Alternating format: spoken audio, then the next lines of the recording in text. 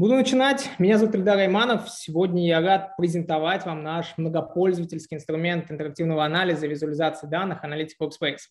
Совсем недавно, в минувшую пятницу, мы отмечали ровно два года, как стартовали разработку данного решения а, в компании OST. Немного расскажу про нашу компанию. В целом мы занимаемся разработкой для меня же видно, должно быть видно, да. В целом мы занимаемся разработкой для бизнеса, для государственного сектора, в частности, для такого направления, как контрольно-надзорная деятельность, где очень важно также а, вести аналитику по тем или иным аспектам. Продолжу. Я возглавляю направление BI. А, стоит сказать, что мы собрали у нас очень крутую команду, у которой есть большой опыт как во внедрении BI, в части проектного управления по внедрению BI и непосредственно аналитиков, так и компетенции по разработкам различных систем.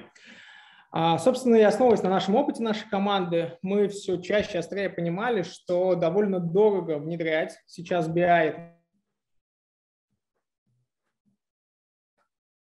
Уверен, большинству из вас хорошо знаком. Давайте поговорим немножко про реалии а, внедрения BI-проектов. На каждом из этапов а, есть свои различные аспекты, которые накладывают отпечаток на дороговизну как раз. На этапе пресейла, как правило, мы видим, что у клиентов нет полного понимания, что можно и нужно извлекать из накопленных данных, а как эти результаты в итоге представлять, визуализировать, интерпретировать. Поскольку требования размыты, речь, как правило, идет про большие данные, приходится сильно вкладываться в грамотное проектирование аналитического хранилища а, чтобы сделать его одновременно и высокопроизводительным, и антихрупким, и гибким к расширениям. И все равно цена ошибки тут довольно высока, а, поскольку каждая итерация проверки приводит к очередной оптимизации хранилища. А, и это опять каждая итерация оптимизации долгая, кропотливая, дорогая. Ну и нельзя не забывать о том, что есть дефицит определенный рук BI-разработчиков а, решить. И, как правило, тебя разработчики специализируются на тех или иных прикладных платформах. Как правило, в итоге получается на отечественном рынке, по нашему опыту, внедрение BI часто сводится к формированию набора четко выверенных регламентных отчетов, которые дают э, ровные цифры в срок. А, как следствие, на этапе эксплуатации уже невозможно конечному пользователю производить гибкую аналитику, заниматься реальной разведкой данных.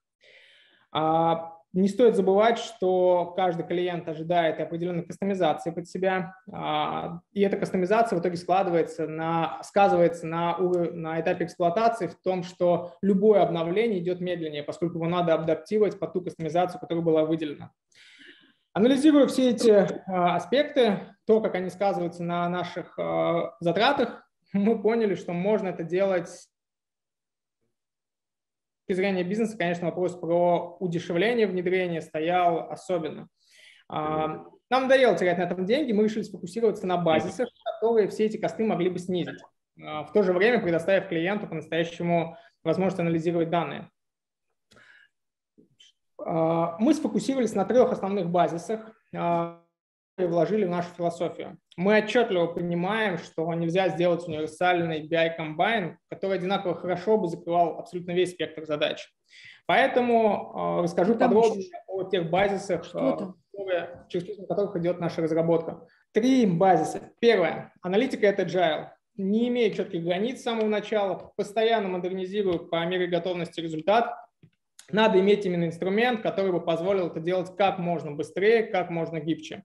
Особенно, когда речь идет про большие данные. Эти данные, как правило, нужно опять пригонять, адаптировать под новое хранилище. И здесь, конечно, если у тебя есть скорость по обработке этих данных, то ты выигрываешь. А, в Analytics Workspace уже сегодня а, очень шустро, а, бодро обрабатываются таблицы с сотнями миллионов записей строк в живом режиме. Сегодня там тоже будем покажет инструментарий, что можно делать с такими таблицами. И, соответственно, понимая вот точки затрат, о которых я выше говорил, ресурсные точки, мы постарались автоматизировать процесс ETL, а, построение хранилища, сфокусировались именно на конечном результате а, пользователя и нашли варианты, как этот результат достичь быстрее. Второе – это а, история про визуализацию. Мы считаем, что разведка данных, что инсайты, поиск инсайтов, поиск смысла в данных, он важнее того, как идеально подогнан с точностью там, до пикселя итоговый дашборд. Время, которое тратится на вот эту подгонку с точностью до пикселя, шрифтов, а, наклонов, его лучше, на наш взгляд, потратить на гибкое осмысление данных с возможностью поиска как раз-таки смысла в этих данных, инсайтов. Мы ввели для себя тезис такой, как разведка данных. Ну и третье, виде узкие, места в вопросах кастомизации, о которых я говорил, а, кастомизации под клиента. Архитектура продукта изначально закладывалась открытой к технологической, технологической расширяемости. Уже сегодня наши партнеры а, дорабатывают софт, дорабатывают его расширениями, пишут необходимые коннекторы к источникам, и это только начало. Соответственно, если резюмировать все, то что такое Analytics Workspace? Скорость, гибкость, высокопроизводительность на больших данных и расширяемость. Это основные принципы, преимущества нашего решения. И именно про них мы сегодня вам и расскажем. Передаю слово своему коллеге Дмитрию, который более подробнее познакомит вас с продуктом и покажет, как он работает. Спасибо. А, так, коллеги, добрый день. Эм, данный, я продолжу. Данные принцип, принципы привели нас к пониманию того, что для построения аналитики пользователь не должен тратить время на построение какой-то большой, сложной, многомерной модели, описывая в системе существующие бизнес-процессы в организации. Поэтому в аналитике Workspace ему достаточно а, собрать необходимые, необходимые данные в виде витрины, проанализировать ее, а результаты упаковать в виджеты и уже загруппировать данный виджет на итоговом дашборде. При этом система Анализ Workspace позволяет э, самостоятельно настраивать связи между виджетами одной модели, обеспечивая а, сквозной анализ данных. Ну и, естественно, система позволяет объединять на итоговом дашборде виджеты, которые построены на разных моделях. Функционально это можно описать следующим образом. Мы подключаемся к различным источникам, а, к различным СУБД и файлам. Данный список можно расширить за счет действующего API. Извлекаем оттуда данные, трансформируем и на основании них э, создаем витрины данных. А, при этом отмечу, что для построения витрины система не предъявляет каких-то излишних требований. Для решения простых задач достаточно знать SQL и операции Join Union. А для продвинутого анализа можно использовать Jupyter Notebook. А, также отмечу, что для построения витрины мы можем э, строить витрину как на одном источнике, так и комбинировать витрину из различных типов источников. А, и далее, после построения, мы э, загружаем нашу подготовленную витрину в хранилище, настраиваем планировщик, а, и в случае необходимости для снижения нагрузки настраиваем инкрементальную загрузку данных. А, два этих блока условно можно отнести к дату-инженеру, а следующие два блока отнести уже к конечному бизнес-пользователю. В блоке виджеты э, пользователь уже занимается анализом данных, проверяет гипотезы, какие-то свои догадки, занимается разведкой данных, э, формируя произвольные, э, произвольные аналитические срезы, просматривает динамику за период, выстраивает уровни детализации, в целом занимается исследованием данных. А результаты полученные визуализирует в виде виджетов, которые потом группируют на итоговом дашборде, а создавая тем самым какую-то целостную аналитическую картину. А, дальше я перейду на показ самой системы, в которой мы постарались э, реализовать задачу, которая поставлена в чате Russian BI. Так. И в этом мне будет помогать, если я что-то буду забывать, то мне будет помогать наши коллеги, в частности Марина и Александр. Так, и я переключаюсь. Так, система имеет э, достаточно простой и понятный э, интерфейс. Он представлен четырьмя основными блоками. Первый блок – это источники данных. Здесь мы подключаемся к различным источникам. А, модели. Здесь мы как раз занимаемся сборкой наших витрин данных. Э, виджеты. Здесь мы как раз проводим анализ, занимаем, занимаемся разведкой данных. И информационные панели. Здесь, здесь как раз мы собираем наш итоговый дашборд. Соответственно, в разделе «Источники» мы подключаемся к различным типам источников, выбираем тип источника, а, задаем параметры подключения, сохраняем и уже дальше можем использовать данный источник для сборки нашей витрины. А для нашего текущего, текущего показа мы использовали источник на, будем использовать источник на Postgres, который а, мы наполнили данными с портала Hacker.ru. Сразу отмечу, что ввиду специфики интеграции с порталом, а, мы использовали, использовали для наполнения данного источника ETL-инструмент а, а, системы Alpha BI, системы наших партнеров Bars Group. Так, также из данного раздела мы можем просматривать те источники, к которым мы подключаемся в виде такого табличного компонента. Соответственно, можем просмотреть то, к чему мы подключились в виде таблицы или в виде сейчас, секундочку. Или в виде описания полей. Так. Соответственно, мы подключились, то есть прописали параметры подключения, сохранили и далее можем уже на основании данного источника формировать нашу витрину. Давайте сразу перейдем к конструктору модели. В левой части у нас как раз мы можем подтягивать те источники, к которым мы подключились. В данном случае мы сразу подтянули тот источник на Postgres. И теперь далее, выбирая те блоки, которые, из которых мы хотим комбинировать нашу модель, нашу витрину, перекидывая их на область схемы, мы будем получать нашу итоговую витрину. Давайте продемонстрируем. Так, возьмем вот блок э, с курсами валют, он здесь отображает. И в превью видим нашу будущую модель. При этом на текущий момент она повторяет данный блок. Давайте закинем еще один блок со схожими ключами. Здесь система автомата настроила связь. А, join. А также помимо join можно использовать операции union для сборки нашей модели. Ну и внизу мы видим, как э, собирается наша будущая модель. А, для текущего показа, для экономии времени мы, естественно, подготовили уже, у нас есть уже готовая модель, которая выглядит следующим образом. А, соответственно, для текущего показа мы подготовили модель, которая э, выглядит следующим образом. А, здесь мы как раз использовали тот источник э, с Postgres, который у нас э, содержит данные с портала ХХРУ. Ну, немного решили добавить свое, свое личное, добавили файл Excel с, с внутренними вакансиями а, как нашими, так и наших партнеров с Bars Group.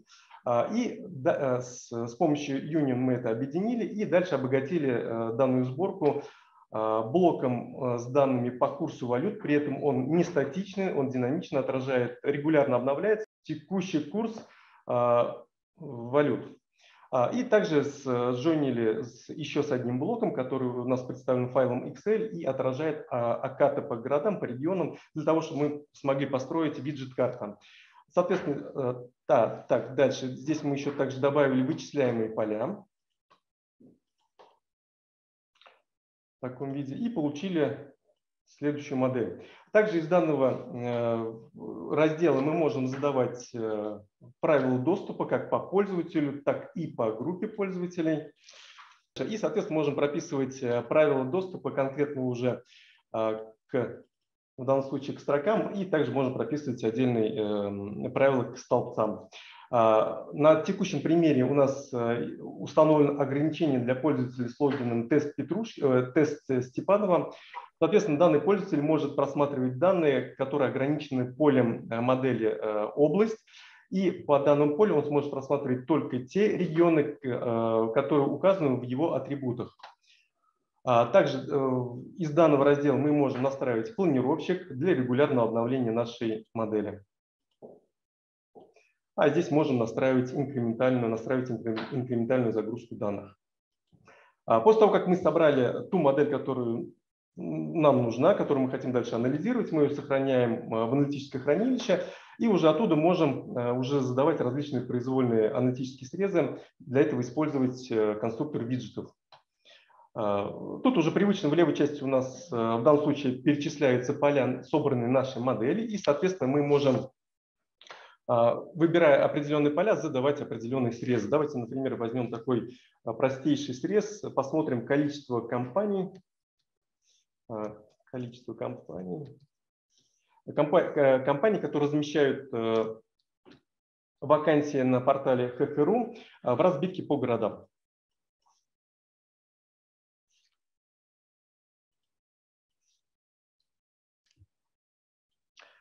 Для подсчета мы зададим агрегацию по количеству уникальных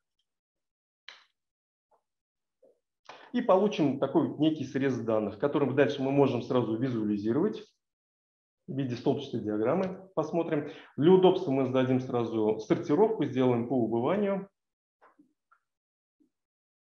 А, уберем, э, сократим количество городов, э, зададим фильтрацию, посмотрим только те города, где у нас э,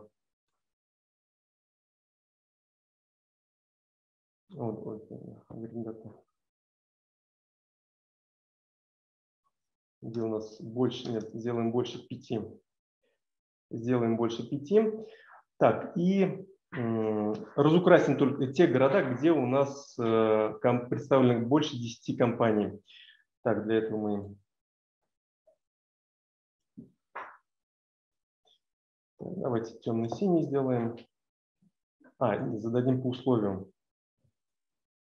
Темно-синий. И зададим условия больше 10.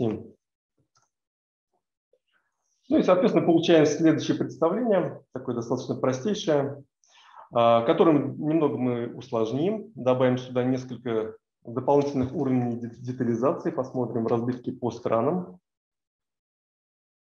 и возьмем разбитки по платформам. Так, и, соответственно, получаем такой срез данных, который нам так, сделаем более правильный порядок. И получаем такой срез данных, который нам позволяет на первом уровне просмотреть количество компаний, размещающих вакансии на портале в разбивке по странам. Дальше уйти э, глубже и посмотреть э, анализ, э, аналитику по городам. И дальше углубиться еще дальше и посмотреть уже, какая платформа наиболее востребована, в, ну, данном случае в Москве. Ну, соответственно, видно то, что Power BI наиболее востребован среди работодателей на портале ХХРУ. А, так, э, давайте посмотрим сейчас еще другую аналитику в виде табличного виджета. Для этого добавим сюда еще несколько столбцов, посмотрим вакансии и посмотрим по зарплате. Всем интересно посмотреть зарплаты. Так, возьмем от. Так, интересно, чтобы без пред... не было пределов. А, так, и, соответственно, сразу зададим агрегацию, посмотрим. А, сначала давайте попробуем посмотреть среднее количество. А, выходит такой достаточно низкий показатель, они связаны с тем, что очень много работодателей не отражают э, в своих вакансиях а, уровень дохода, который могут, на который могут, могут претендовать э, соискатели. А, соответственно, зададим агрегацию по формуле. Так, для этого будем делать подсчет среднего. Так, сразу система дает подсказки, дает подсчет среднего при, по условию. Да, сделаем. А, средний будем считать по данному полю, поэтому забиваем Калк. И у нас сразу опять система дает подсказку. Выбираем, задаем условия. Опять И делаем больше, э, так, больше нуля. Посмотрим, подсчет будем делать. Ну и, соответственно, сразу видим, как произошел пересчет, и уже э, цифра уже более реальную картину отображает. Для удобства отсортируем, э, для удобства просмотра отсортируем по убыванию. А, отформатируем для лучшего восприятия. Так, для этого зададим гистограмму, сделаем по градиенту и сделаем по столбцу. А, так, и возьмем такой цвет и вот такой цвет. И получим такое представление. Давайте посчитаем еще вакансии.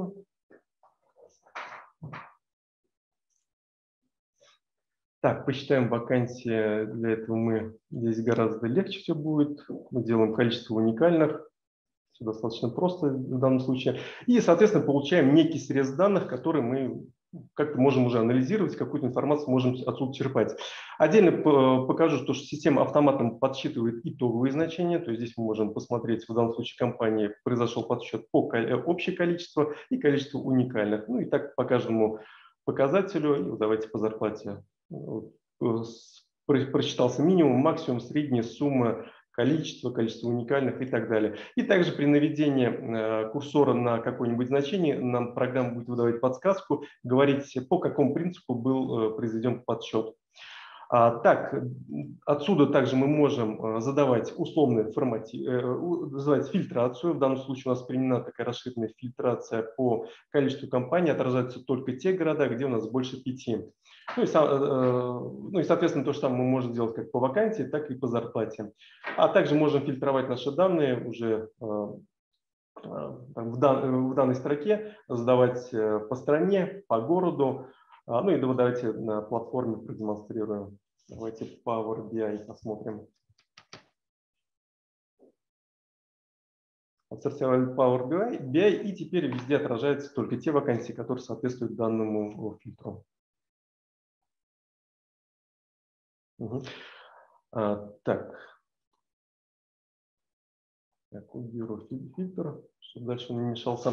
А, соответственно, так у нас выглядит готовый виджет, э, который мы можем выгрузить в CSV формат, а также можем сгенерировать ссылку и поделиться а, данным виджетом с коллегой. Как работает данная ссылка, я продемонстрирую на этапе дашборда.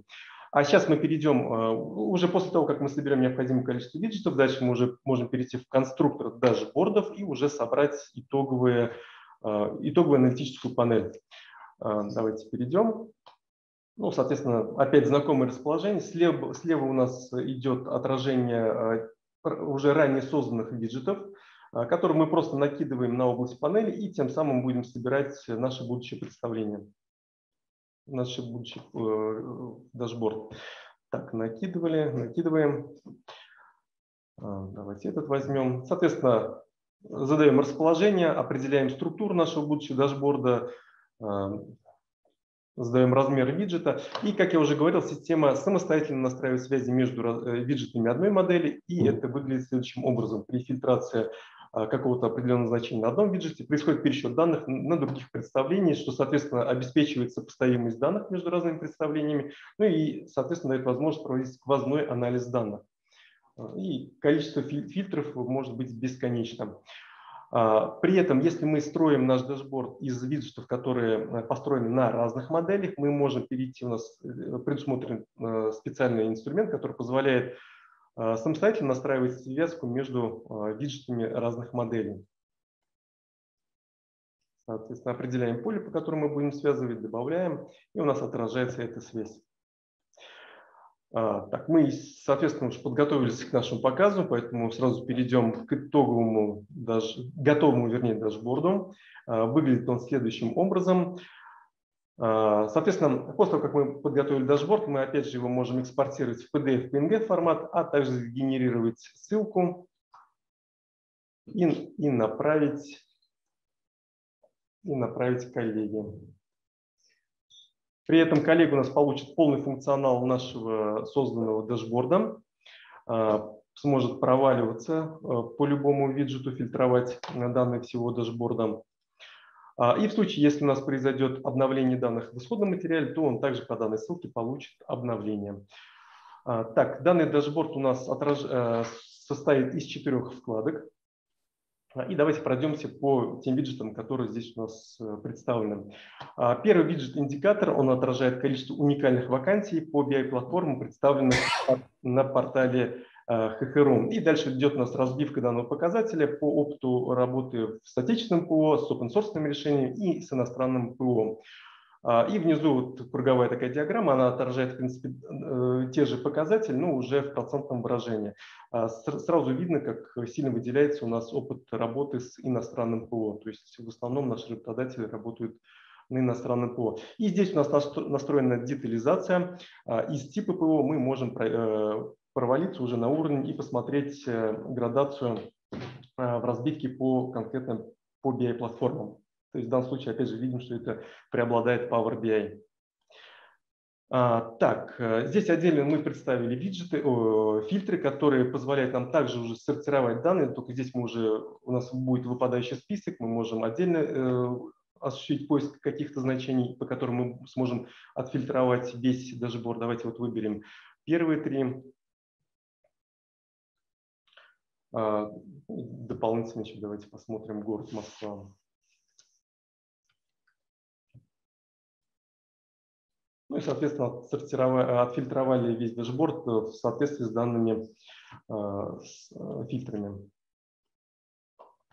А, так, дальше у нас представлена столбчатая э, диаграмма с накоплением, которая отражает востребованность специалистов по тем сознаниям тех или иных платформ. А для удобства давайте отсортируем по, по убыванию. И сразу видим, как насколько сильно отрывается эм, сотрудники с опытом работы в Power BI. А, ну и также здесь представлено накопление э, с разбивкой на текущий, с данными на текущий месяц и на предыдущий месяц. И с помощью кнопок мы можем также менять это представление, отражать только ту информацию, информацию только по одному периоду. А, так, дальше у нас представлено, так давайте вот это посмотрим, виджет э, древовидная карта. А, здесь у нас э, отображены, э, аналитика приводится по самым актуальным должностям. Тут видим, что основная, самая популярная должность – это аналитик, аналитик, бизнес-аналитик, аналитик данных, ну и так далее. Ну и, соответственно, здесь также несколько уровней детализации, которые позволяют провалиться и посмотреть аналитиков с опытом работы в какой платформе наиболее популярен. Ну, опять же, это Power BI, а, Table и Click.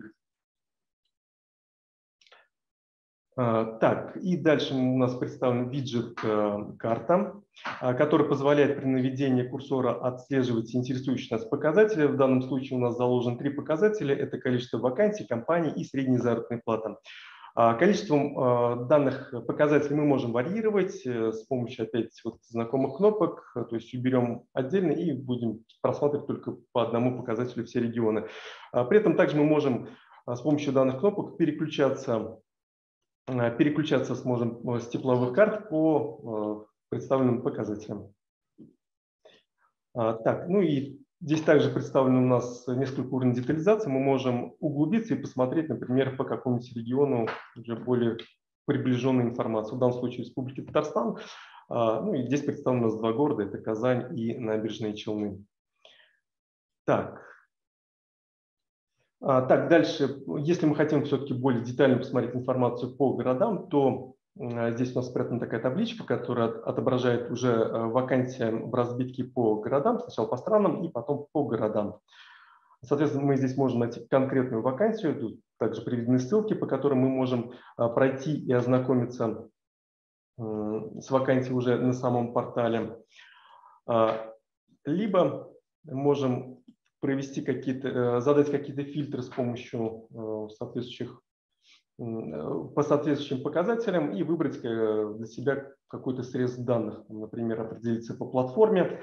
А, ну, давайте по, по альфе и по аналитику Workspace посмотрим. А, и, и посмотреть, где востребованы сотрудники созданием данной платформы.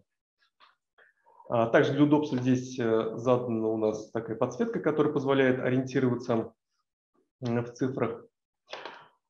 А, так, ну и, в принципе, знакомый же табличный виджет, который уже показывал. Здесь также можно навести и посмотреть, э, как он был подсчитан, итоговые значения, ну и, соответственно, отфильтровать э, по интересующим нас показателям. А, ну, и, соответственно, здесь тоже можно задавать э, фильтр уже по городам и по странам. А, так, дальше вот мой любимый виджет, э, полярная диаграмма, она отражает вакансии в разбивке по типу занятости. А, был очень сильно удивлен, то, что ну, на первом этапе это выглядит естественно. У нас представлены вакансии по типу занятости. Самый популярный тип занятости – это полный рабочий день. Дальше идет у нас удаленная работа и э, гибкий график. Но если мы а, переключимся на среднюю заработную плату, так, сделаем давайте сортировку по убыванию, то на удивление наибольшие заработные платы платятся по типу занятости вахтовый метод. Далее идет у нас удаленная работа, гибкий график, и только на четвертом месте полный рабочий день. А вот. Мысли, мы, э, добавил мне мысли для размышления. А, так, идем дальше. У нас э, на следующую вкладку у нас представлены здесь э, виджет, отражающий зарплатные предложения. А, так, здесь у нас также представлен индикатор, который отражает минимальную заработную плату, максимальную заработную плату и среднюю заработную плату а, который сравнивается с предыдущим периодом и, пред, и сразу представляется подсчет, э, насколько она э, снижена, либо в данном случае снижена по сравнению с предыдущим периодом. А, так, также здесь у нас идет такая столбчатая диаграмма, которая отражает у нас градацию должностей в разбивке по доходу. И тут по, каждому, по каждой должности у нас представлены три показателя. Это Э, заработной платы от, до и средней заработной платы. Соответственно, здесь мы можем э, также отсортировать наш, э, наш виджет по, так, например, давайте зададим такую, посмотрим в промежутке, зарплату в промежутке от нуля давайте сделаем до 100 тысяч. сделаем так. Уберем лишние значения. Ну и, соответственно, получили только те э, должности, где зарплата у нас представлена до 100 тысяч рублей. Ну, соответственно, можем еще более уже сделать и посмотреть более уже, более уже разбег. А, и также можем выбрать конкретную а, должность и посмотреть информацию уже по ней, зарплату от, до и среднюю. А, так, сейчас уберу фильтр.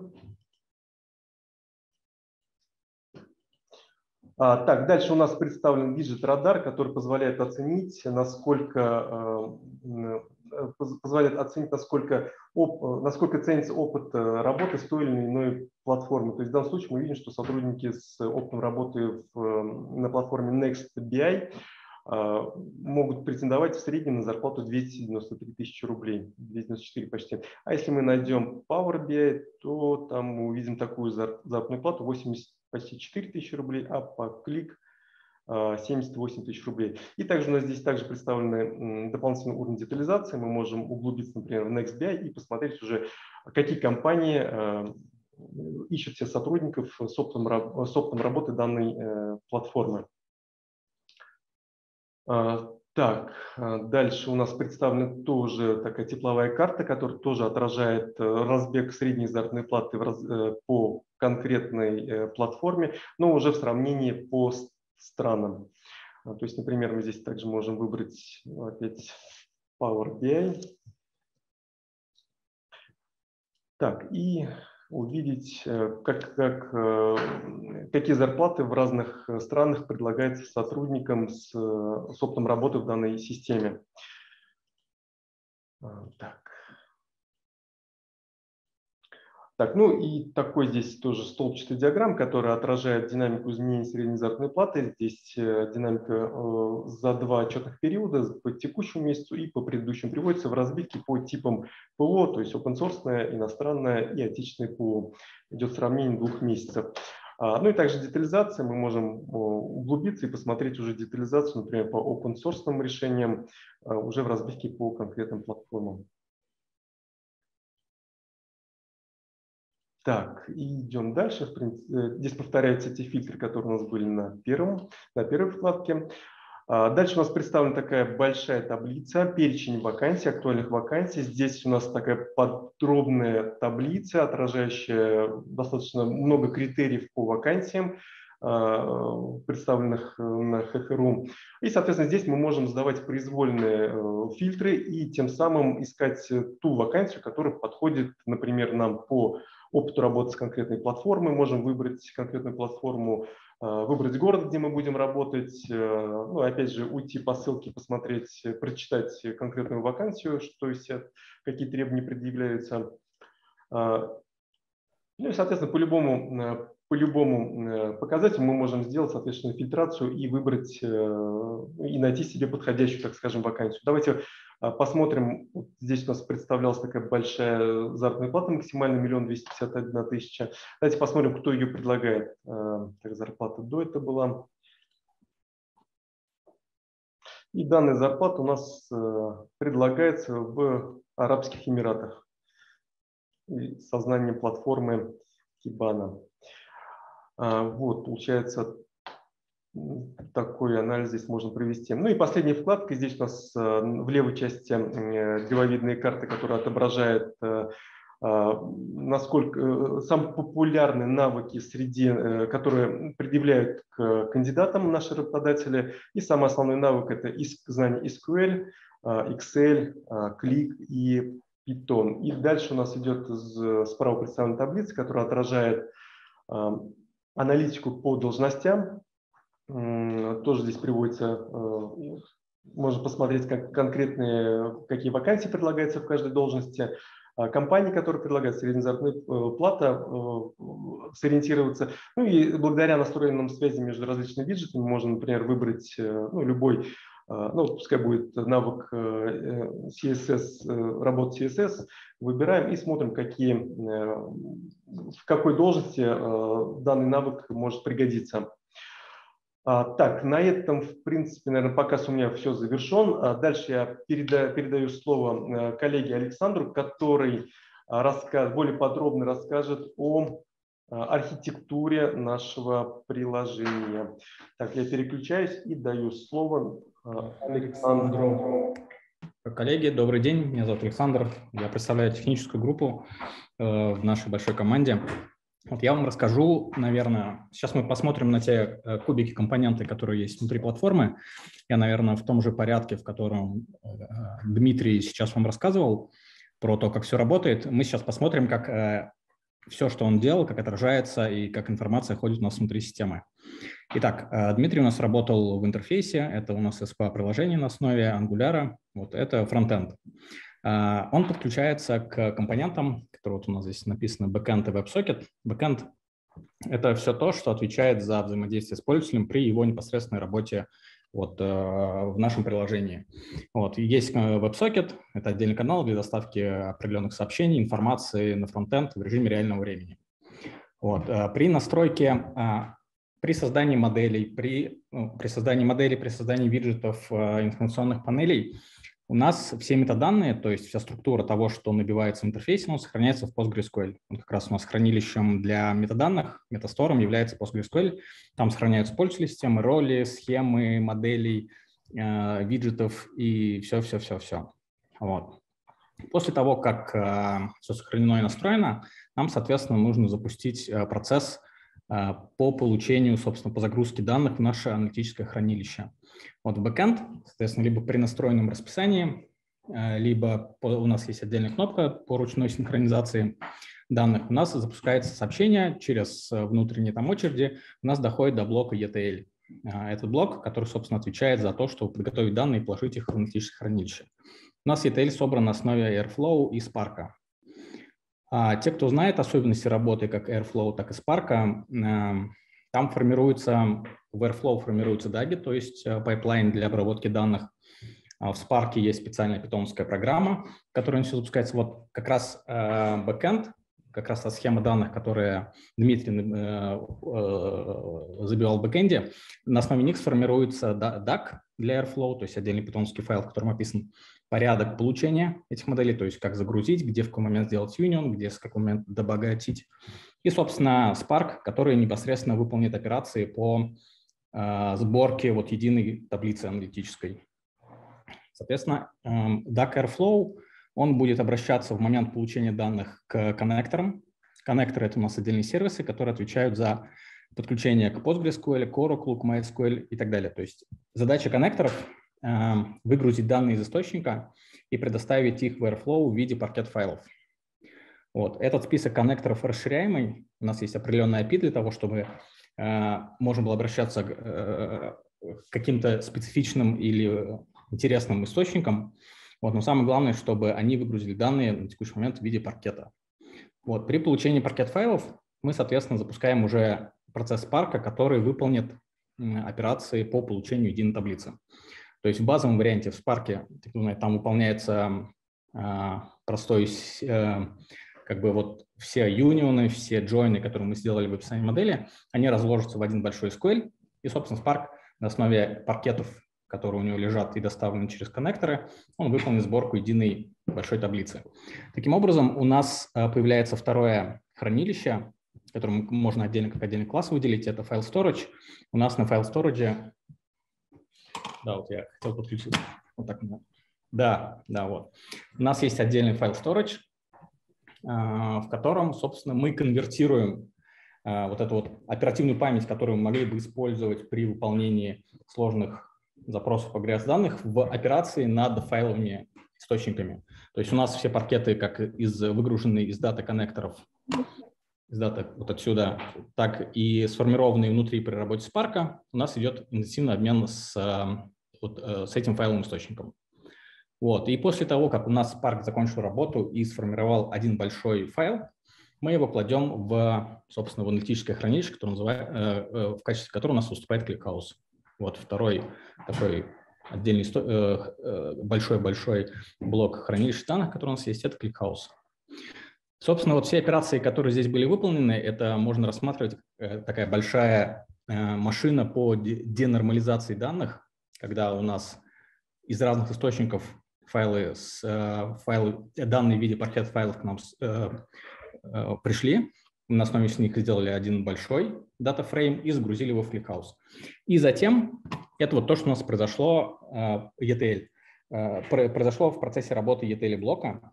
Вот. Здесь участие дата-инженеров отдельных, отдельных дата-инженеров не нужно, полностью на основе схемы данных, которая настроена в бэкэнде, на основе той модели, которую мы увидели, который пользователь настроен, все это автоматически сформируются все необходимые команды для Airflow и Spark.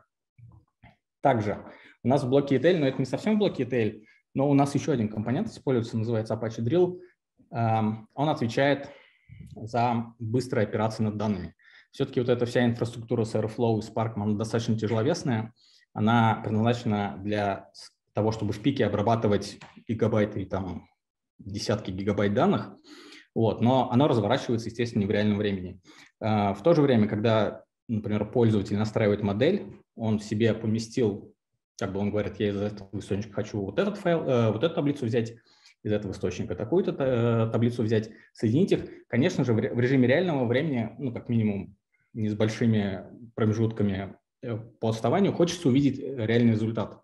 То есть вот как раз для таких вычислений мы делаем небольшие запросы в момент построения модели, небольшие запросы тоже через, через те же самые через те же да, вот через, через те же самые коннекторы, то есть когда работает бэкэнд, через те же самые коннекторы мы получили данных, но мы выгружаем не все из источника, а только лишь небольшую порцию. И затем с использованием Apache Drill мы формируем фактически то же самое, что делал бы Spark, только это делается в памяти, но на очень ограниченном объеме данных, которые мы из источника получили. И мы это показываем в виде предпросмотра. Таким образом, мы вот такой эм, время реакции системы увеличиваем, э, время уменьшаем, скорость увеличиваем, для того, чтобы пользователь в реальном времени видел, как будто бы он строит модель. А, и как бы результат, то, что у него получится, он видит прям сразу. Конечно же, когда запускается уже реальный ETL, э, сборка реального процесса, у нас вот как бы два левых квадратика Airflow и Spark, запускаясь, они уже обеспечивают перекачку полного набора. Итак, после того, как у нас таблица оказалась в ClickHouse, нам ее в виджетах надо данные из этой таблицы показать.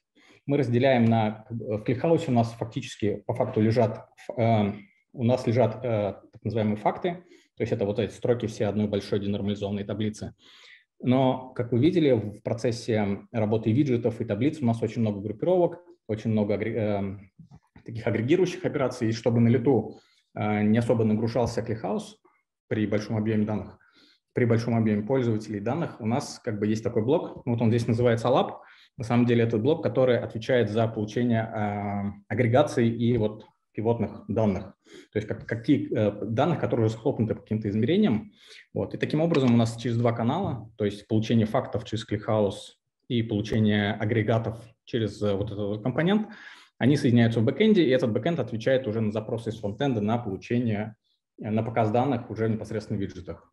То есть вот все операции, которые вы видели, это, соответственно, Дмитрий, когда кликал что-то на фронте, бэкэнд формировал запросы в ClickHouse за получением э, конкретных строк уже фактов и тех агрегатов, которые в данный момент должны использоваться в, в компонент, который здесь называется Lab, и на выходе вот получался единый объем данных, который уже доставлялся на клиент и отрисовывался. Как вы видели, это вот вся вот эта инфраструктура, она ворочается в режиме реального времени вполне-вполне. Далее у нас есть несколько вот справа белые квадратики, вот они здесь. Это э, есть ряд сервисов, которые в этой всей инфраструктуре э, компонентов, которые отвечают за промежуточные, ну, такие скрытые технологические операции. То есть у нас есть много кэшей, у нас мы используем Elasticsearch, но мы его используем для логирования. У нас поднимается FileBit, который из контейнеров каждого сервиса, сейчас по поводу контейнеров расскажу, FileBit забирает логи и кладет их, соответственно, в Elasticsearch, и Kibana показывает все, что происходит у нас во всей этой структуре. Также у нас есть сервисы, которые отвечают за сборку статистики, то есть мы знаем, в принципе, по настроенным моделям, э, какие таблицы большие, какие маленькие, где много столбцов, где мало столбцов. Вот, и на основе них мы можем в оперативном режиме там какие-то оптимизации по обработке данных производить. Также у нас есть мониторинг, который э, следит за состоянием этих всех сервисов, и все работает. Также у нас есть возможность подключения к этой всей инфраструктуре Юпитер э, хаба, слово Юпитер, там не I, а Y. Вот Юпитер хаба, э, этот э, компонент, он подключается как бы со стороны, мы его не предоставляем в базовой поставке, подключается со стороны в базовой поставке, у нас идут коннекторы, которые позволяют забирать данные из аналитических хранилищ для того, чтобы их загружать уже в датасеты, датафреймы Pandas, и их запуск и ими обрабатывать их либо в том же Spark, который у нас есть, то есть это для того, чтобы там какой-то датафрейм учителя сделать, ну, либо там даже запускать модели машинного обучения в виде катбуста например, либо Skylearn. Ну, в общем, там все, что можно, там это делается. Вот эта продвинутая аналитика у нас в нашем видении делается таким образом. Так, значит, как это все э, распространяется? У нас сервисы, здесь порядка 35 сервисов внутри э, задействованы. Ну, то есть здесь некоторые блоки, они э, раскрываются внутри еще на несколько сервисов. Мы представляем, э, поставляем это все в виде докер, э, докер-образов, вот, докер-образы, они там по версиям, по меткам э, все лежат. Для того, чтобы разворачивать это все на единой машине, у нас есть э, как бы такой вот общий Docker Compose файл, в котором все, все собрано, все лежит. На основе этого Docker Compose файла у нас есть возможность как бы разворачивания этого всего в уже более сложной топологии, то есть когда, например, мы весь ETL, все сервисы ETL ставим на одну машину, файловое хранилище у нас на третьем, э, на второй машине, бэкэнды на одной машине, ClickHouse в виде тоже какого-то кластерной установки еще где-то крутится. Вот. И таким вот образом можно на основе вот нашего базового Docker- файла это все разложить по разным, э, по разным серверам. Также э, масштабирование этого всего дела делается, эм, например, в зависимости от того, с каким, что мы хотим масштабировать. Если мы хотим, чтобы у нас как бы Spark работал на множестве воркеров, то, соответственно, стандартными способами, стандартными способами масштабирования именно Spark, то есть добавление новых воркеров, и эти расположения этих воркеров там в, особой, в особом месте, то есть мы как бы уже масштабируем Spark. Если мы хотим, чтобы у нас ClickHouse, то есть у нас э, сервисы таким образом развернуты, что очень много пользователей, но они все смотрят данные. Вот таким образом мы ClickHouse уже сами делаем, например, кластер из этого ClickHouse и, собственно, с ним работаем. И эти кластер ClickHouse, он тоже разворачивается по рекомендациям того, как работает этот клик. Эм, ну, собственно, вот примерно так. Э, значит, на каких это все может машинах развернуться, мы гарантируем, что оно разворачивается на всех машинах, где нормально устанавливается докер. Я вот просто видел вопрос по поводу того, там, на любимом Astra Linux развернется это. Я не знаю, насколько там работает э, докер, именно докер. То есть мы это все представляем в образах докера. Собственно, вот. Наверное, давайте к вопросам ближе перейдем, потому что углубляться смысла, наверное, нет. Там, спасибо, да, спасибо, Саш. Вопросы еще будут, еще у нас есть еще блок, про что рассказать. А, вернемся обязательно, еще будет блок вопросов, в том числе архитектурных вопросов, и в чате их много было. Часть из них, я думаю, Александр уже покрыл. А, давай дальше по презентация. Хочется резюмировать это все вышесказанное, чтобы там закрепить основные тезисы, что из себя в нашем видении представляет аналитик Workspace, в чем он может быть полезен вам. Аналитик Workspace, конечно, закрывает полный жизненный цикл анализа данных, а, в том числе с интерактивными дашбордами. Да, может быть, где-то он не столь кастомизируем, но он все равно позволяет подключиться к источнику, проработать витрину, а, эту витрину анализировать и представить, визуализировать результат. Мы очень гордимся нашим табличным компонентом. Он действительно высокопроизводительный, функциональный табличный компонент, который может и простейшие операции анализа, сортировку, фильтрацию предоставлять, так и более сложную агрегацию, расширенную фильтрацию. Сегодня функционал это в целом а, показывали. Третье, микросервисная архитектура, которую сейчас Александр э, показал и рассказал из open source компонентов, она как раз-таки говорит о возможности технологической расширяемости, и мы уже рассказывали, что часть коннекторов уже наши партнеры написали самостоятельно, и в этом направлении мы будем продолжать двигаться, благо архитектуру изначально закладывали к этому готовой. Ну и доступный порог навыков для аналитиков, для бизнес-пользователей. Как правило, необходимо знать э, SQL, основные операции Journey, Union, но, э, конечно, есть возможность более серьезных операций, расширенной аналитики, использования того же Jupyter Notebook для построения моделей. Э, тем не менее, мы постарались порог сделать достаточно простым. Перейдем теперь к блоку вопросов, но я думаю, что сразу будут вопросы относительно того, где э, были внедрения. Э, соответственно, Соответственно, хочется предоставить слово, мы позвали наших коллег, наших партнеров крупнейших, а, интеграторов компании Barks Group. Хочется предоставить слово заместителю генерального директора компании Barks Group Рустему Ибрагимову, чтобы он рассказал про опыт использования нашего решения. Рустем. Добрый вечер, коллеги.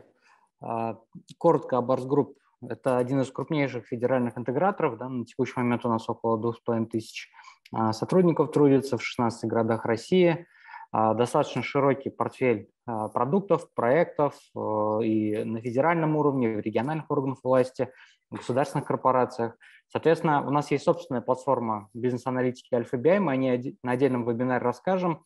Но, в общем-то, Альфа-BI у нас сфокусировано больше на построении классических корпоративных хранилищ данных, ETL, регламентная отчетность, Соответственно, а, решение от наших партнеров, от компании OST Analytics Workspace очень э, гармонично дополнила там, классическую аналитику Alpha-BI за счет продвинутых инструментов разведки данных.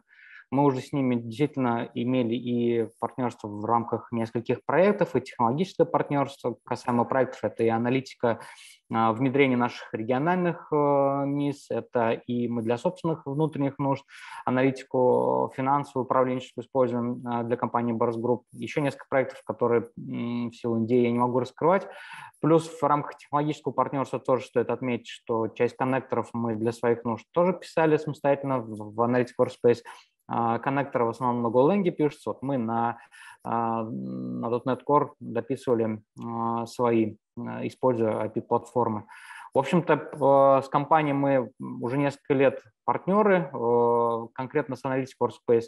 Около года мы работаем, да, вот несмотря на то, что продукту два года, там первый релиз где-то был э, год назад, первый публичный релиз.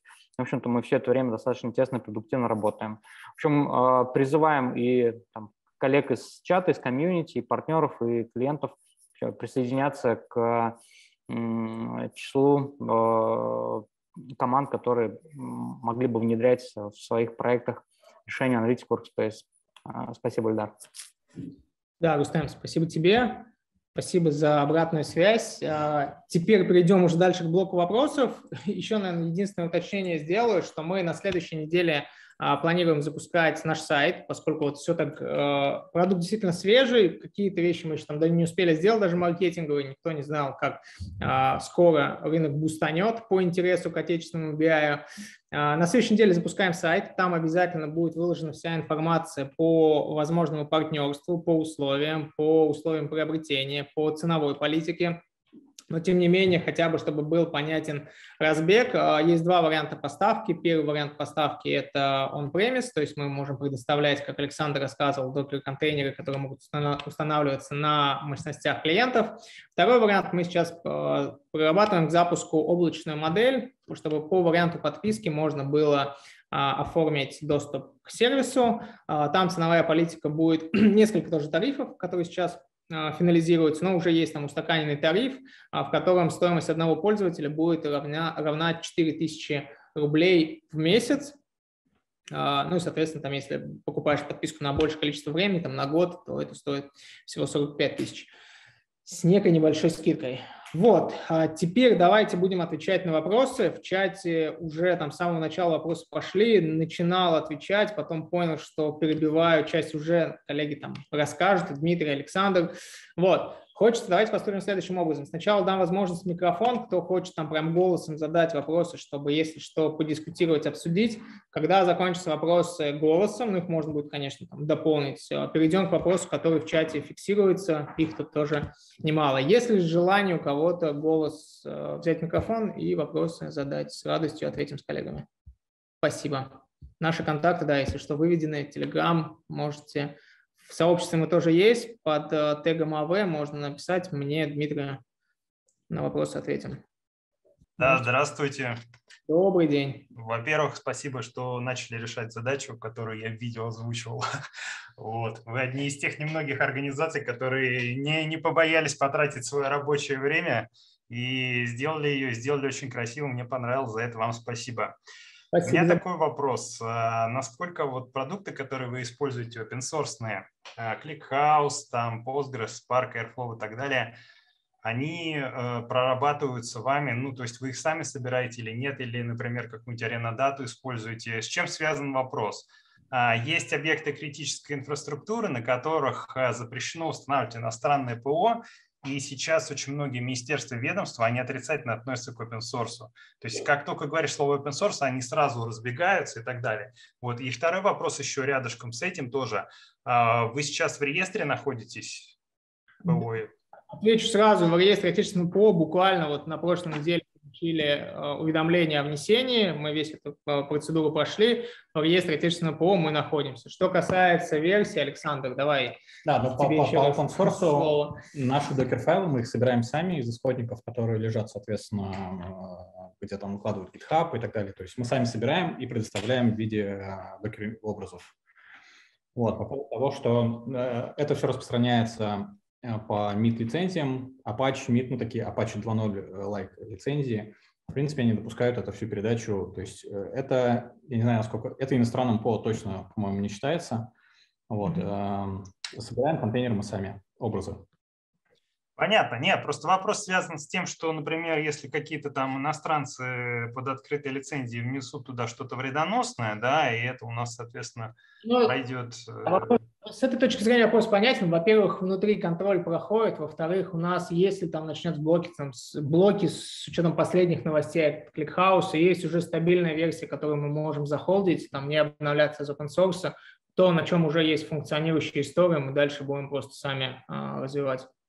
Я думаю, если проблем будет, мы просто форкнемся и да. будем собирать только то, что нам нужно.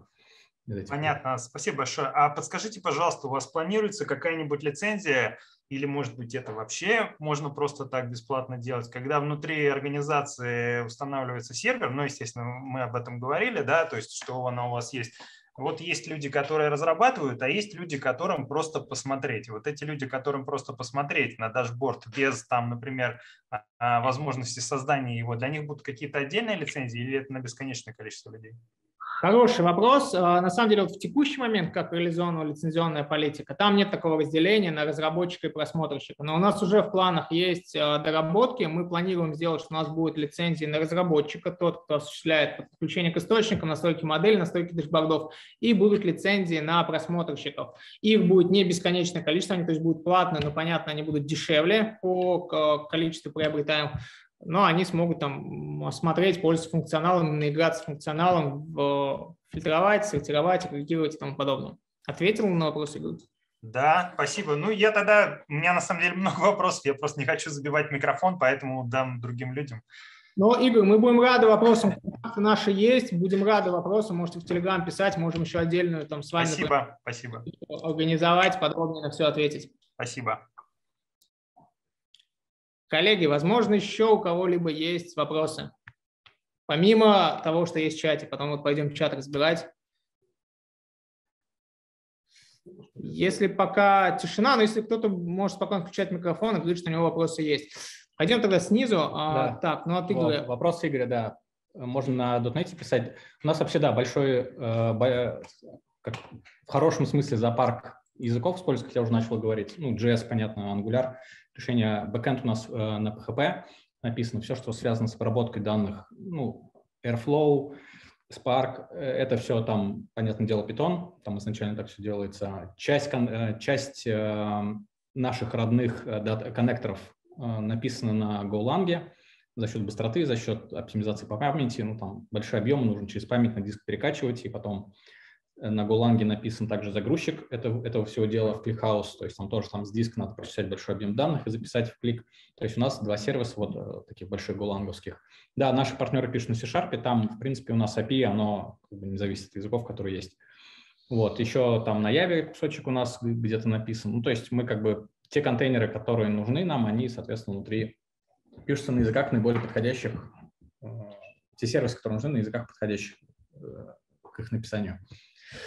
Да, вопросы ну, идут, и, наверное, снизу вверх не очень, потому что они будут добавляться, будем путаться. Давайте сверху вниз тогда пойдем. На часть я уже вопрос отвечал. Про планировщик ответил. Э, возможность по расписанию, по событиям сейчас нет. Расписание задавать определенно крон строкой, крон выражением можно. Про аналитическое хранилище рассказали. Когда было, если будут дополнительные вопросы, можно задавать. Так, данные куда загружаются, ответили, что да, данные загружаются в наше собственное хранилище. Витрина одна и только одна таблица. Если таблиц несколько, можно ли считать в одной визуализации из нескольких витрин значений? Да, я на это отвечал, что можно. Показывали вариант, что собирали дашборд, который на разных витринах-моделях а, собран. Между ними можно связи а, устанавливать.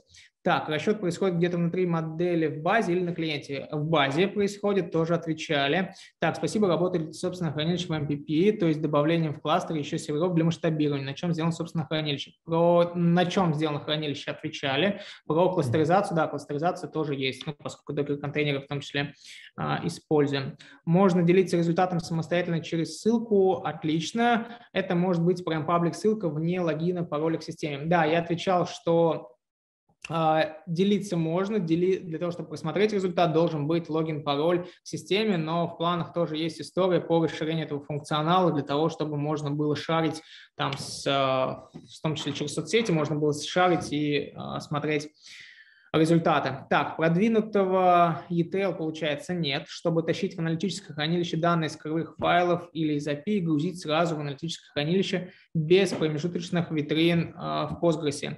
Но на самом деле у нас, как мы рассказывали, Александр, подробно про коннекторы. Есть уже набор коннекторов, есть возможность API, чтобы эти коннекторы расширять. В частности, вот из ближайших коннекторов это будут веб-сервисы по расширению, и через эти веб-сервисы уже сразу можно будет данные тащить. Я, я здесь э, поясню, да, здесь, наверное, имеется в виду, то есть у нас блок ETL, я вот, по-моему, это задавалось до того, как... Ты, да, это до того, как ты рассказывал. Да, да, да, то есть ETL у нас э, как бы полноценный ETL есть, у нас те скрипты, которые нужны для обработки data pipeline а и итоговой обработки датафрейма, у нас формируются автоматически.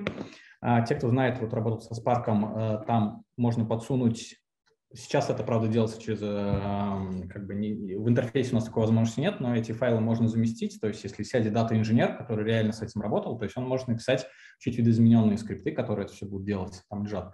Я думаю, к осени мы это у нас все появится в интерфейсе, то есть вот как Юпитер ноутбук у нас позволяет редактировать эм, ну, вот эти вот файлики, которые в Pandas обрабатываются, у нас будет э, э, тоже вход для того, чтобы вы увидели те файлы, которые формируют DAC модели и э, спарковские файлы, чтобы вы их увидели и смогли сами отредактировать там внутри. То мы такую возможность вытащим.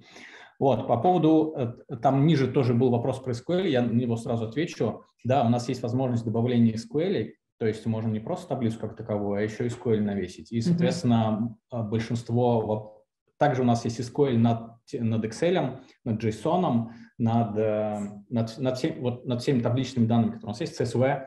Вот, вы можете закинуть, например, если вам файл криво не нравится, и вам не хочется лезть вот в эти кишки в виде там Spark и туда, вы можете э, положить э, таблицу из э, CSV, из Excel, написать к ней SQL, в котором уже все ваши нужные вещи отфильтровать на этапе получения. У нас все дата-коннекторы, которые работают по получению данных через вот этот механизм, они заберут уже видоизмененные данные и положат их в той таблице, которую нужно. То есть клининг, он как бы вот сейчас, если не вдаваясь очень глубоко, он делается вот на таком уровне. Спасибо. Пойдем дальше. Так, тут мой ответ. Если автоматическая адаптивная верстка отвечал, да, верстка адаптивно подстраивается, боюсь упустить так какие-либо. Могу ли, в одно, могу ли я развязать связь виджетов одной модели? Да, можно. Это настраивается для того, чтобы не прокидывались фильтры, если я понимаю правильно сценарий, который вы преследуете. Да, это сделать можно.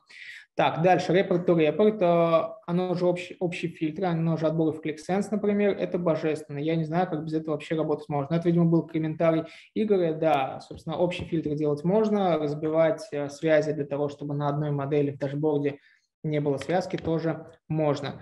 Так, у индикаторов, если нужно отображать отклонение, я отвечал, что да, отклонение с алертированием от, э, показывать можно. В бублик можно добавлять подписи, внятную легенду тоже отвечал, да, что можно добавлять подписи, можно там при раскрытии добавлять легенду, подписи при наведении, имею в виду. А, фильтры могут влиять на несколько вкладок одновременно. Да, фильтры могут влиять, применяются на несколько вкладок а, для удобства. Тут от Игоря есть опять вопрос API для своих. Ну, на часть мы уже отвечали. API для своих виджетов пока нет, в планах есть этот блок по разработке. Для коннекторов API уже есть, да.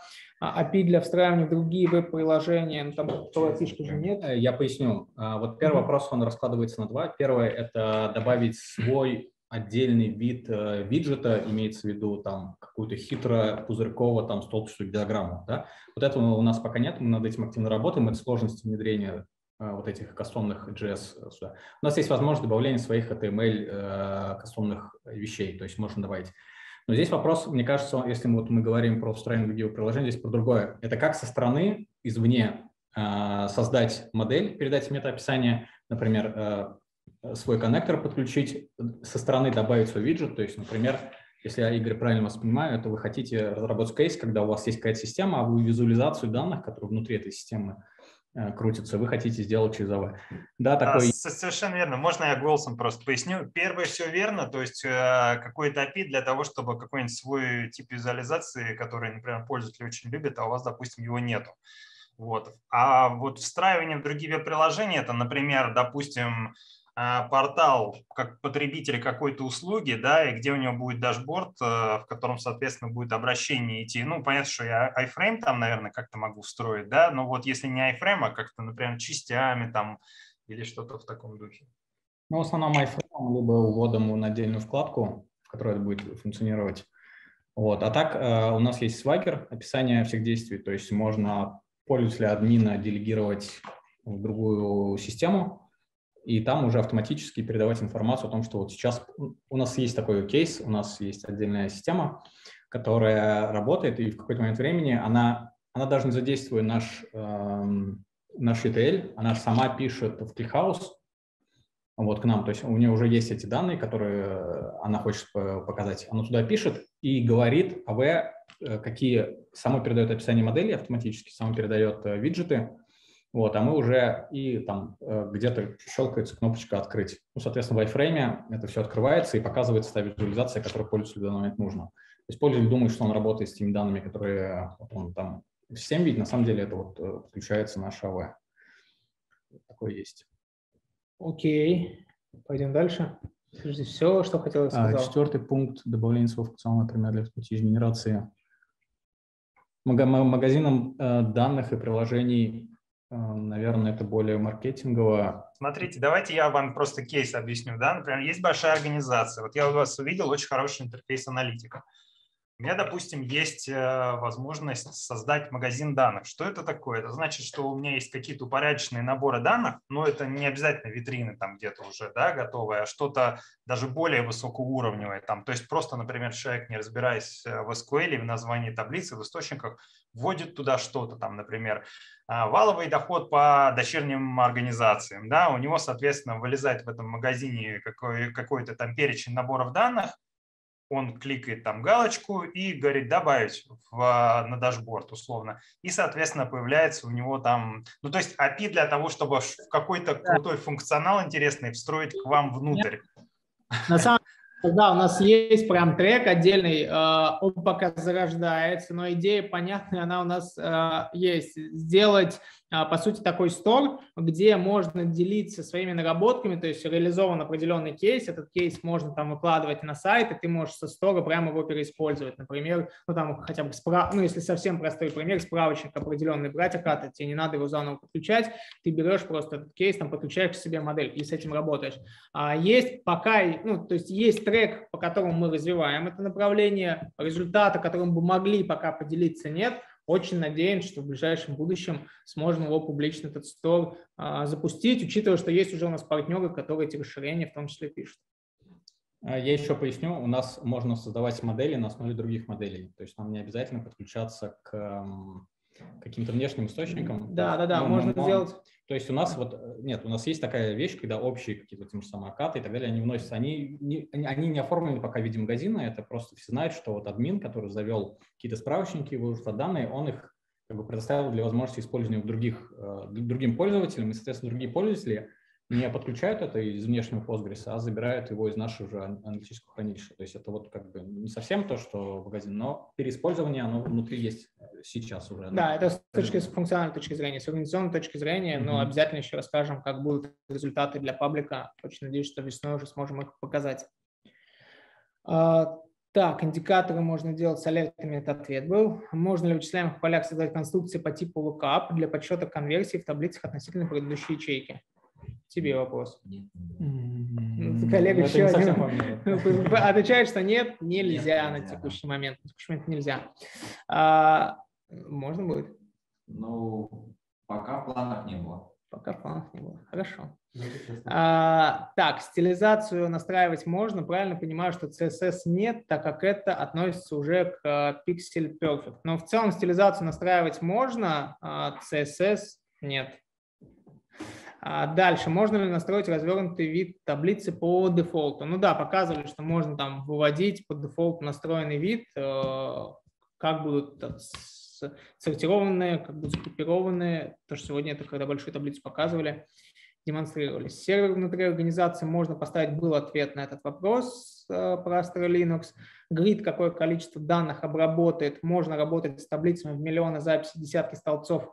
Да, тоже сегодня про это говорили. Спасибо за вопрос. Объемы перевариваем такие, нагрузки проходили. У нас рабочий вариант прямо на новом проекте, там около 198 столбцов и 30 плюс миллионов строк. То есть они вот так вот выделены и работают. 200 столбцов, 30 миллионов. Да. Но вообще нагрузочные, мы когда прям задавались, мы 110 миллионов выгоняли. Ну, это, да, нагрузочные, да. Ну, так, а, например, у нас в витрине 10 миллиардов строк вчера, сегодня появилось новых 10 миллионов строк, 10 миллионов строк поизменились. Я правильно понимаю, что для того, чтобы аналитическое хранилище обновилась таблица, она должна быть удалена и полностью собрана. Нет, у нас есть инкрементальная загрузка. Сегодня там Дмитрий я тоже показывал, возможность создавать эти инкрементальные загрузки и гибкие условия по ним имеются. Если в компании уже есть хранилище на GreenPlum или ClickHouse, можно на него натравливать фронтенд без перекладки хранилища Analytics Workspace. Недавно, может, да, обсуждали. А, что ответим? А, ClickHouse можно, GreenPlum нет. ClickHouse можно, GreenPlum нет. Да, то есть у нас есть механизм, который через API позволяет на основе а, данных а, таблиц ClickHouse создавать модели а, в нашей системе. Соответственно, когда будут созданы модели нашей системе, на основе них можно будет уже создавать виджеты. Э, то есть вы сами формируете из таблиц ClickHouse метаструктуру для наших моделей, там, передаете а, основные поля, там название, алиас, э, тип поля, там, является справочником, является ссылкой, то есть какие-то такие атрибуты добавляете там для каких-нибудь чисел, допустим, форматирование нужное заранее. Вот, и на основе этого уже создается моделька. А на основе уже созданной модели можно также работать с виджетами и дашбордом. Спасибо, Саша. Спасибо. А дальше, что представляет себя компонент Lab? Ну, ты про архитектуру, когда рассказывал, поднимал, но это все это было еще до. Наверное, пойдем дальше. Там про ClickHouse были вопросы uh-huh. про PostgreSQL. А, докер на Astro ставится, значит, все, отлично. Сводные таблички еще толком не видели. Наверное, сегодня в примере особо не показывали, а, но Игорь, вопрос от Игоря, поскольку договорились с вами еще предметно связаться и пообщаться, покажем вам тоже этот функционал а, более подробно. Расскажите еще по ролевой системе, администратор, разработчик, пользователь и так далее. Но про, если мы говорим лицензионную ролевую модель, то я рассказал, что на текущий момент нет э, деления на разработчика и пользователя, это в планах. На текущий момент это одна лицензия. Если говорим с функциональной точки зрения, то, разумеется, можно давать доступ к тому или иному функционалу, к администратору, который будет настраивать а, ну, доступ, опять-таки, работать с, с источниками, с моделями. А, пользователю конкретному ему будет доступны только дэшборды, либо виджеты плюс дэшборды. Вот. А если говорить вообще про ролевую модель, то достаточно гибко создатель а, того или иного представления виджета, дашборда может делиться им, сам определять права доступа, что удобно он создал, и ему не надо идти там бежать к админу, просить его настраивать доступ, он сам может расшарить доступ а, тем пользователям, которым считает нужным. Да, и у нас еще есть гибко абак, там э, об этом говорилось, когда да, презентацию да, да. делалось, но явно надо, почему-то у нас есть абаковский доступ, то есть у нас есть отдельно пользователи, которым администратор настраивает то, что у этого пользователя значение региона равен там Москва, город Москва. Mm-hmm. И, соответственно, он имеет доступ э, к просмотру всех виджетов, но все равно на этапе показа данных э, ему вот этот наш бэкэнд срежет все, что не относится к городу Москве. Там он по названию этого поля, региона, он найдет соответствие и сам наложит еще фильтры поверх того, как э, перед тем, как отдать эту информацию. То есть полноценный баг в этом плане mm-hmm. присутствует. Да, здесь не просто ролевая модель доступа, она именно атрибутивная для того, чтобы дать максимальную гибкость. А, так, много компонентов ETL и HD, как решается вопрос их обновления, централизованно или по отдельности? Ну, у нас обновляется, как мы говорим, мы предоставляем возможность, вот у нас единый Docker Compose файл, он обновляется очень просто. Да, он pull up. Вот. Если это все развернуто в нескольких серверах, соответственно, DevOps, они должны такие операции сделать в нескольких серверах. То есть это вот так вот делается. Но вообще скрипты по обновлению, те команды, которые нужно выполнить, представляем мы. Дистрибутив, значит, у нас лежит, у нас есть э, свой Docker э, Hub, Docker Docker Registry, Docker Hub. Э, мы на своем Docker Registry держим. Для тех, кто работает в закрытых контурах, мы, соответственно, представляем возможность выкачать уже образы в виде tar-файлов, zip-архив, ну там 18 гигабайт было, сейчас, наверное, побольше даже. То есть, но это все вот полная система, она как бы занимает место.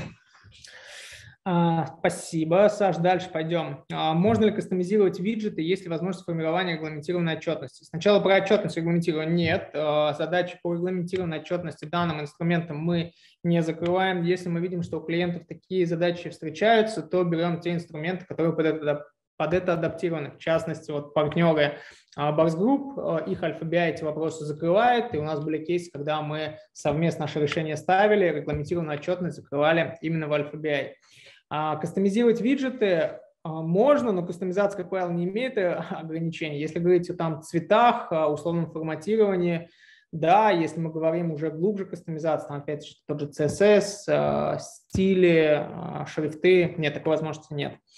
Есть ли возможность у пользователя конструировать таблицы с помощью предварительно настроенных наборов а, измерений и мер? А, да, ну в целом философия какая, что изначально тот, кто имеет доступ к источнику, готовит модель, ну по сути он в этой модели определяет набор ну, вот, измерений и мер, которым, по которым будет вестись анализ. А когда идет работа с виджетом, а, сегодня показывали, мы берем из набора полей, те, ну, по сути, можно сказать, измерения, меры, срезы, аналитические поля, которые будут э, уже обрабатываться в таблице. Да, чуть-чуть поправлю. У нас модель действительно конструируется, там объявляется полный набор э, полей, который может быть, а вот уже появление, э, э, меры, э, измерения, они появляются в моменте создания виджета. То есть вы когда виджет помещаете, когда вы кладете э, туда, ну, например, там, диаграмму, таблицу, вот, определяя, в каком порядке у вас что будет столбцами, что строками, что вы хотите отображать на пересечении. Соответственно, таким образом виджет автоматически сгенерирует это описание в виде меры измерения и там вот это все, ну, такое кубовская уже семантика. И она создаст вот тот компонент, который у нас вот, ALAP называется, он туда положит вот описание вот этого куба, условно говоря. То есть у нас э, каждому виджету соответствует свой такой мини-куб. Вот, и уже, когда нужно агрегированные данные по измерениям, мерам получать, мы, соответственно, обращаемся, к, фактически так происходит. То есть мы обращаемся, вот этот виджет обращается э, к компоненту OLAP, и он там уже данные именно пивотные такие уже возвращает.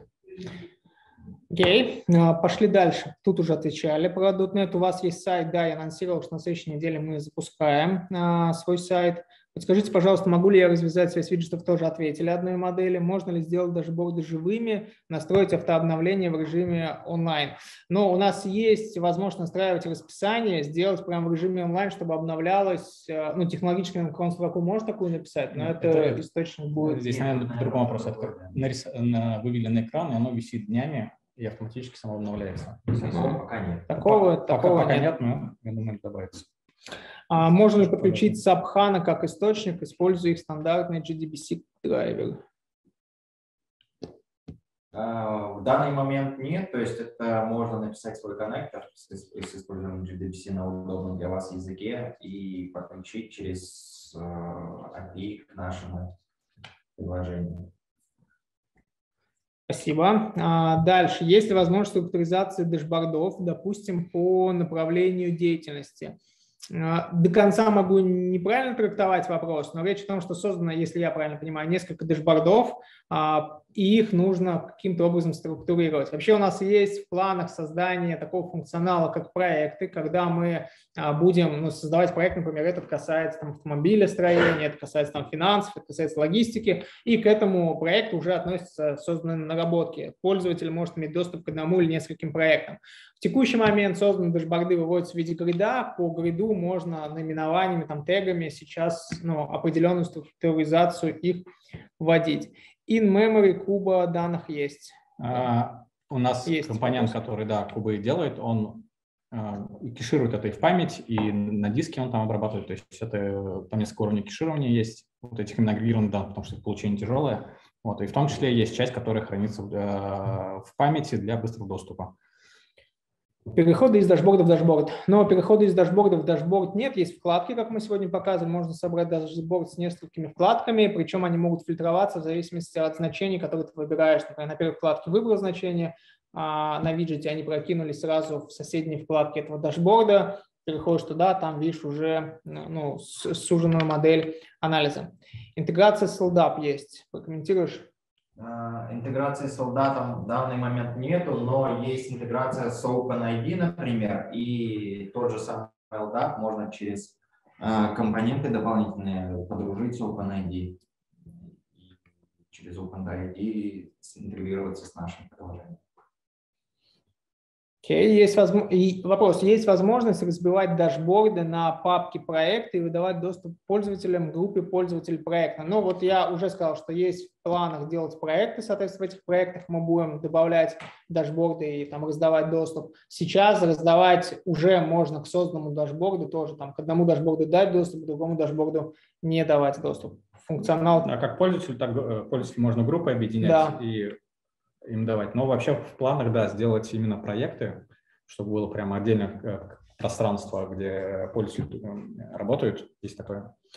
А есть ли возможность делать сложные меры, оконные функции, сравнения период к периоду по аналогии с DAX, Power BI или Set Analysis Click? Мы работаем над этим. Есть ли контроль версии виджетов, дашбордов в системе или бэкапать нужные бэкапить нужными средствами? Но а, как минимум точно знаю, что если, например, удалить из интерфейса, то в базе он помечается на удалении. Если кто-то случайно удалил, можно в базу полезть, метку снять и восстановить этот а, дашборд. В чай, ну... Это у нас, как одна из продвинутых э, вещей, у нас есть, э, есть такое направление. У нас сейчас э, данные можно складывать версионно, то есть вот каждое обновление данных, они как бы складываются вот, но по поводу виджетов и описаний метаданные у нас сейчас пока не в этот механизм не заходит, но мы будем над этим работать. В планах есть. У нас есть возможность сделать импорт-экспорт, вот мне подскажут коллеги. То есть у нас можно все, что, э, ну, например, есть DevStand, это, вот, это не, не про версионность, но как бы можно близко тоже подобрать. Есть DevStand, где собирают и какой-то продакшн. Чтобы на продакшене не заниматься, вот как бы перетаскиванием, можно все подготовить, то есть описание моделей, виджетов, дашбордов. Э, это все, если работает, там помещаются галочки, у нас экспортируется в специальную, э, в специальный такой, ну, условно архив. Пакет. Да, пакет, пакет, правильно. Вот, и, и поднимается на уже другом стенде. То есть можно воспринимать это каким-то образом, такое бэкипирование, но не всего системы, а вот той части, которая относится как раз дальше. Плюс есть отдельный трек по откату изменений в моделях, по крайней мере, чтобы когда мы собираем модель э, и изменяем ее, мы могли от, а, откатываться к предыдущей версии. Да, чтобы у нас Ctrl-Z бесконечно мог работать. Вот такое еще есть для удобства. Как раз дальше вопрос, а возможен ли экспорт метаданных дашбордов? Ответ да. Ответ да, мы чуть ранее рассказали про экспорт-импорт. Можно ли получить доступ к демо-версии продукта? Да, доступ получить можно, наши контакты представлены, можно в Telegram писать, и демо-доступ мы предоставим. Вместе с тем, когда мы запустим сайт, на сайте планируется доступ к реальной версии на ограниченный период времени для того, чтобы с продуктом можно было поиграться. А мобильное приложение есть, когда, сразу вопрос, когда планируется. А мобильного приложения пока нет. В целом надо сказать, что адаптивная верстка позволяет с телефонов открывать э, довольно приемлемо, там гибко можно смотреть.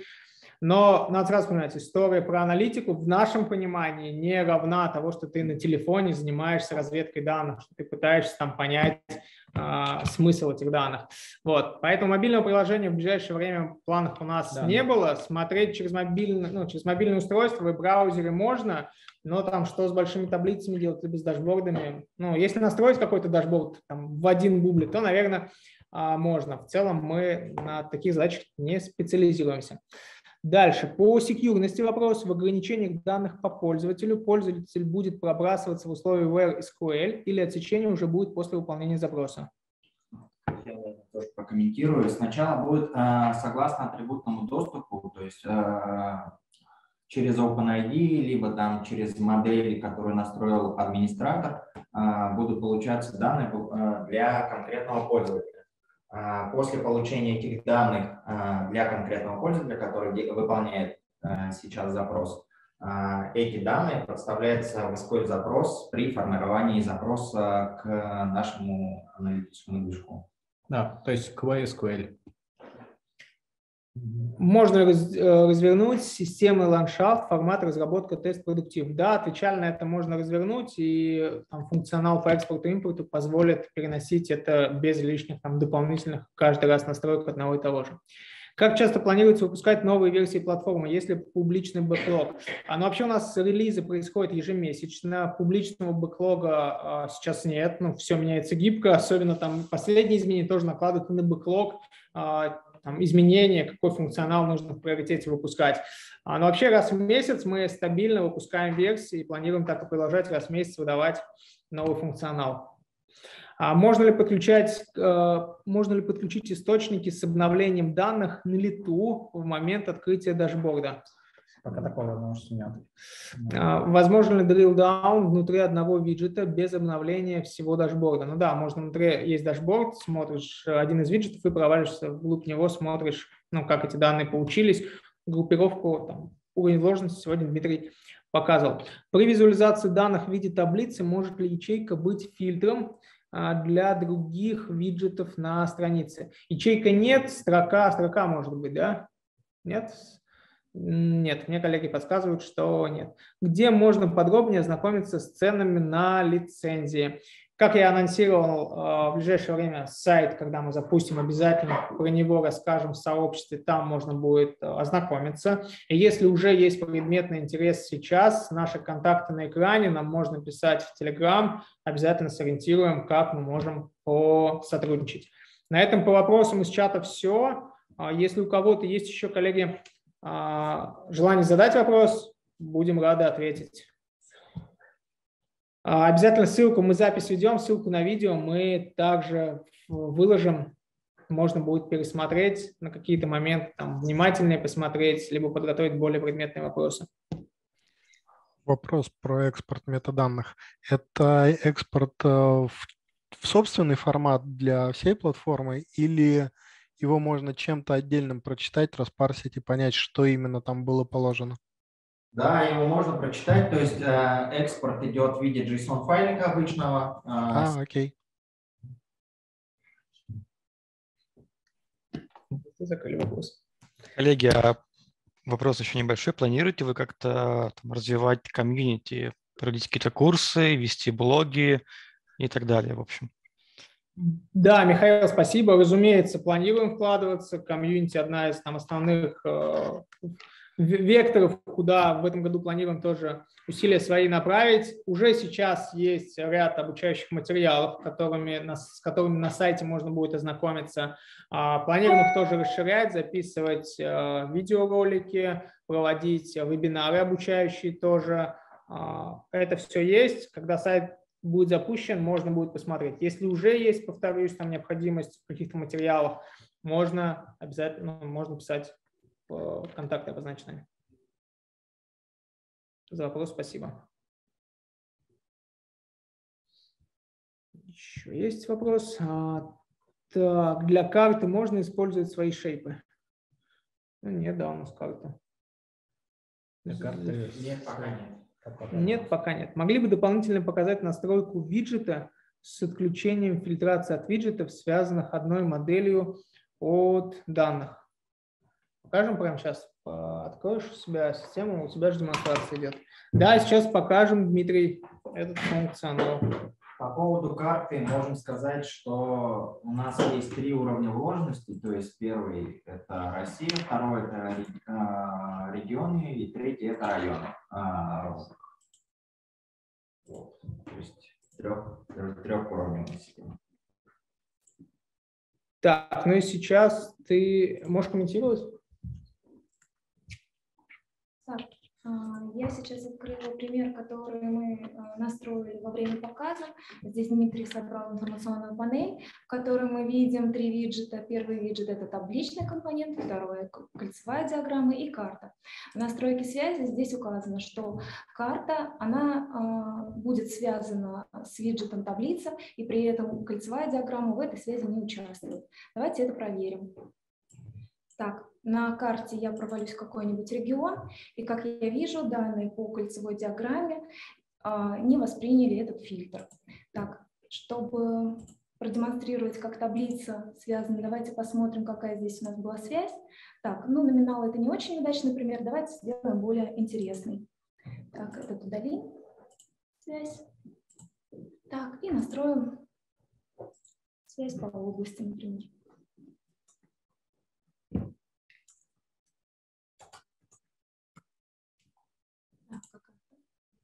Область.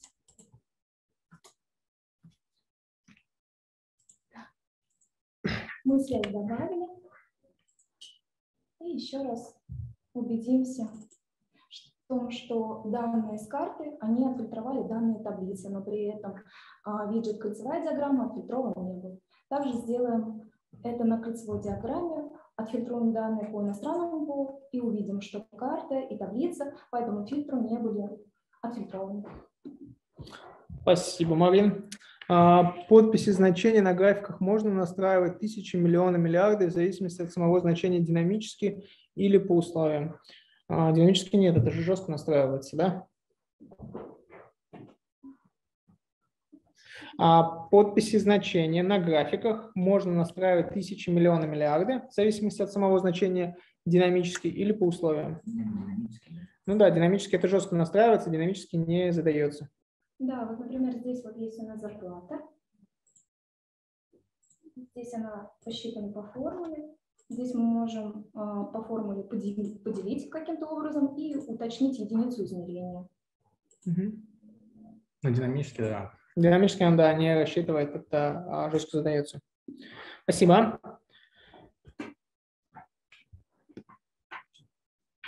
процентов число будет без знака процента, если делать формулой. Можно проценты вывести в единицы измерения, будет со знаком процентов, Сергей. Спасибо. Сергей, да. А формуле условия нельзя задавать? А речь о каких именно условиях, Андрей?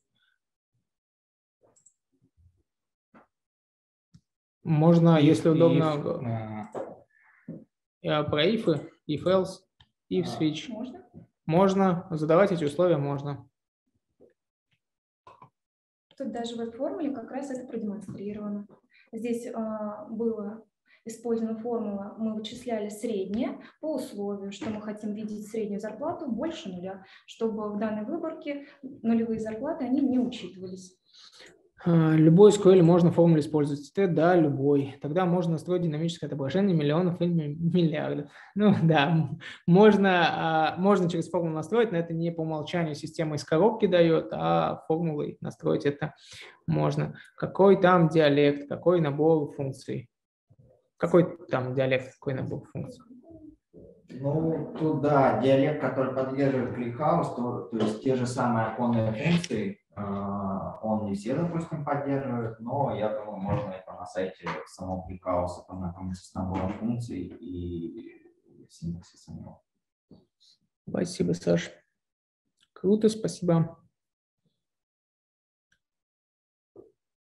Коллеги, есть ли еще вопросы? На самом деле очень мы рады большому отклику и вопросов, и интереса проявленного, то, что этим вечером пришли, а, чтобы посмотреть на наше решение. Полтора, чуть больше, чем полтора часа у нас общение идет. Напомню, что если а, есть интерес в чате, есть мы там по тегу АВ, по шильдику можно найти вопросы задать, и также сегодня транслировали наши контакты. Если вопросов больше нет, то, наверное, на этом будем выглядит очень достойно, красавцы, хотелось бы потестить. Спасибо, показ очень содержательный. Спасибо за обратную связь, мы старались, очень приятно. Обрат... Да, коллеги, э, спасибо, прошу прощения, что перебиваю, а то сейчас отрубимся. А, вопросик еще есть э, по поводу вот колонок и подписи рублей, когда вот показывали, что в настройках как на формула, туда дописали рублей. Вот хотел бы попросить показать еще раз это окошечко.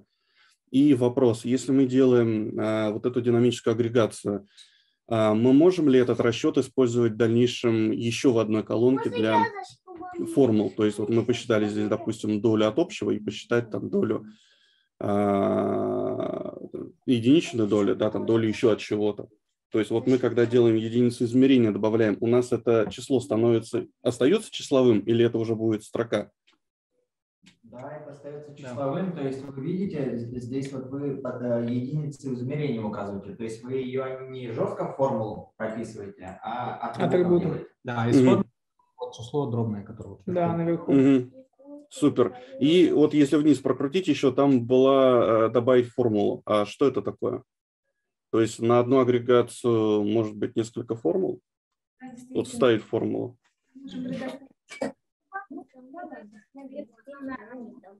Очень плохо слышно.